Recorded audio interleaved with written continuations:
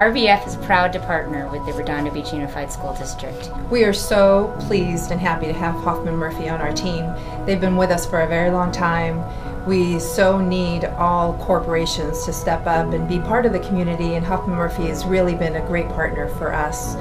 Since I've moved here, I'm a parent of two children. In the last 10 years, we've seen the school district grow to over 9,700 students, and the property values increase tremendously, exponentially, and a lot of that is because of our school district. We are so thankful to Hoffman and Murphy and all of our generous donors who've helped us contribute almost a million dollars to the school district this year.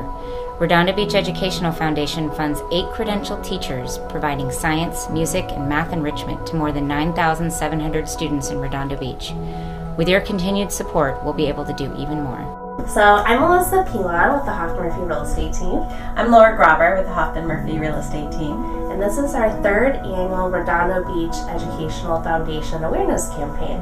Yeah, it's exciting.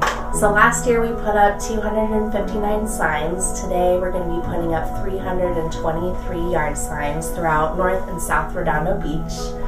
Um, so far, we've donated $67,000 to RBEF since 2014. We're hoping to exceed that amount today with pushing over $75,000. If you'd like to support RBEF, you can go to rbef.org or contact Hoffman and Murphy to be part of their lawn sign program next year. For every sign that's placed in the community, $25 will be given back to RBEF.